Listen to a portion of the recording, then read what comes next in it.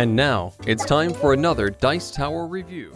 Hey everybody, it's Ryan Metzler, and today I'm here with something a little bit different. Today we're going to be taking a preview look at a game coming out from Tasty Minstrel Games. And this is going to be a game that's going to be on Kickstarter, and it's called For the Win. Uh, this is going to be a two-player abstract game in which players control different types of pieces. There are zombies, ninjas, pirates, monkeys, and aliens, and you're going to control all of these different types of pieces, all of which are going to have different abilities. You'll be placing out your pieces, trying to get them into a, a grouped area where you have at least one of each of your five different types of pieces touching and active at the same time, and then whoever manages to accomplish this first by using their actions most, most appropriately and in the right order is going to win. So why don't we take a real quick look at how the game plays. I'll give you a look at the components, and remember these are preview components. These are not final quality components. And then I'll give you my final thoughts on the game, and you can determine whether, you, whether or not you're interested in getting the game for yourself. So here you can see all of the components of For the Win. You have these player sheets here, which tell you what all of the pieces are going to do, as well as count your actions, and each player is going to have five actions per round. After a round, the play is going to switch to the other player. And as it is, you can use either one or two moves on your turn, one or two actions. Uh, you would mark those thusly, and when you got to five, you would be done, and the other player would finish out their actions. The pieces are, as you see from left to right, ninja, pirate, monkey, zombie, and alien. Available in two different colors. You have yellow and black here, uh, and there's going to be two of each type of piece. The objective is to get five of these pieces, all five of these pieces, each different type, in a connection pattern on the board so that all of them are touching and active at the same time. Now, by active, I mean that if they use their abilities on their turn, and I'll go over their abilities shortly, they're going to flip over to the opposite side, and you can see here there's an X on them. And this is the inactive or used side of a piece. You need all five of these different pieces to be touching either orthogonally or diagonally in a pattern and active in order to win the game. Now that I've given you that brief overview, let's take a look at the individual pieces and what they do. These are the monkey pieces, and these are going to be the pieces that always start out on the table for each game. Each player will have one monkey on the board, and the base game rules say that the monkeys start adjacent as such to begin the game. Now the players may choose to have them start diagonally adjacent, which would be a variant that you can choose to do if both players agree at the beginning of the game. The ability of the monkey is going to allow it to be flipped in order to flip any adjacent tiles over. So for example, this monkey, the yellow player's monkey, could flip over to its opposite side using its ability in order to flip all adjacent tiles, both orthogonal and diagonal. So this monkey, the alien, and the pirate would all flip over, and the black player would have no active pieces on the board. These are the ninja pieces.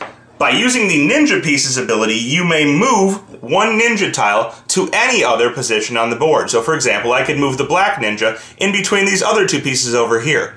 In doing so, it flips to its inactive side. Next, we have the pirate pieces. The pirate piece has what's called the cannon ability, which allows it to shoot any adjacent tile, for example either this monkey or this monkey, to a different location. It can't shoot this monkey as it would break up the tile formation, but it could shoot this monkey moving it to anywhere else on the board, for example over next to the alien. This would flip over the pirate tile. Here we have the zombie pieces.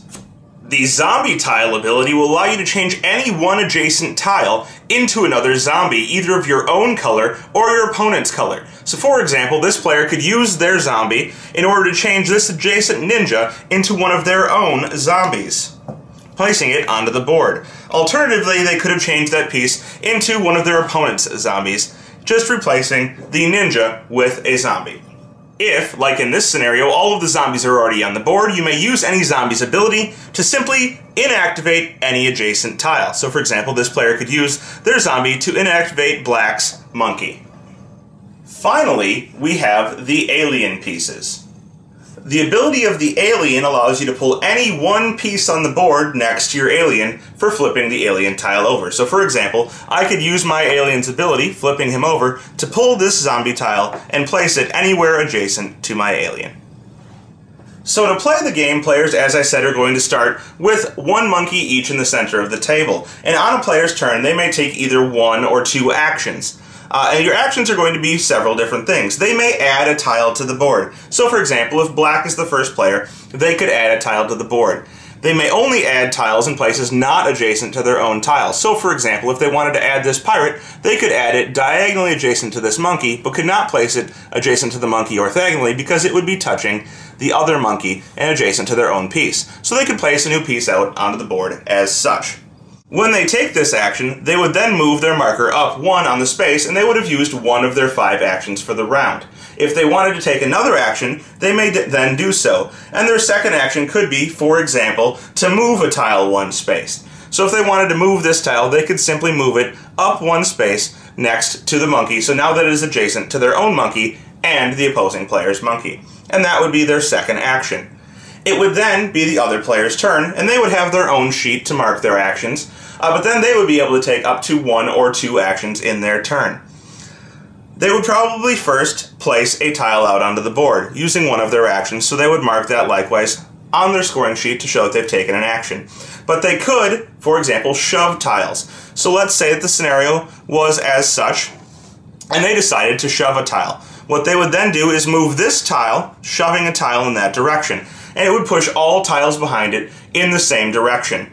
The only rule here is that you're never allowed to break up the formation, so you couldn't move it so that these pieces were disconnected. You can move them so that they're disconnected in one move, but they must be connected by the end of your turn. A fourth option on your turn would be to use one of your abilities of one of your tiles. So for example, if the yellow player wanted to use the ability of their monkey to flip it over, they would then flip over all of the other adjacent tiles, because that's the monkey's ability, and mark that as their second action for the turn. The final option on your turn is to flip one of your tiles face up. So for example, you could simply flip up your pirate here and count that as an action.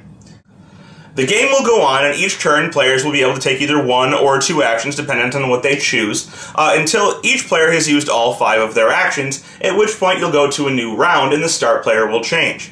so to illustrate the end game of For the Win, I have set up a scenario where the black player is now on their turn and they have two actions left, and they are set up in a situation where they can win by connecting five of their pieces that are currently active you'll note that they actually have connected four different pieces, but that only two of them are active. The pirate and the ninja are inactive, and they need to get a zombie over into their connected area and have all of those pieces active. And they can do this in two moves.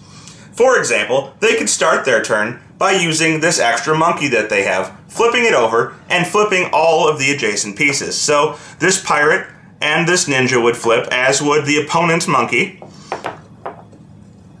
and you would flip the pirate up top and the used alien from the opposing player. And that would be their first move for the turn, leaving the board in this situation. Now, they're still in the problem. They have a monkey, a pirate, an alien, and a ninja connected, but they're missing the zombie. But this is okay because they have an extra alien connected to their area. And what they can do is use this extra alien's ability to pull the zombie from across the board over into their area next to the used alien. This would create a scenario where all five of their different pieces are touching, and black would win the game. So that's For the Win, a two-player abstract game by Tasty Minstrel Games, and one that is currently on Kickstarter looking for funding. If it reaches the appropriate funding level, it will be published, and you can be in the first wave of people to receive the game. Now, I got the game and immediately sat down and played five games of it in a row, and that's because I really enjoyed the style of the game. It's got that nice two-player uh, hive-type abstract feel where you're placing tiles, and you're trying to combine them in a pattern that lets you win the game. Now this adds the bonus of giving special actions. Uh, different pieces perform different things, and it combines everybody's favorite different uh, memes, kind of, into one game. You have your pirates and your aliens and your ninjas and your zombies, and who doesn't love all of those things?